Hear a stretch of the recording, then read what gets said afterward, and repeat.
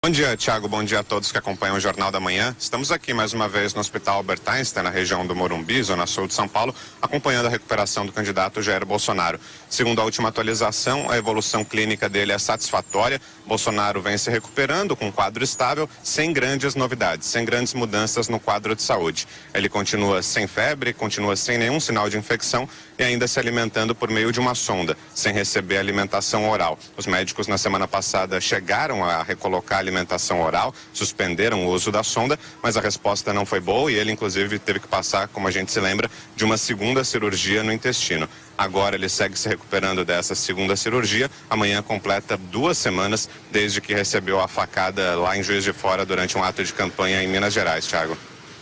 Até já. O Brown volta com outras informações. A hora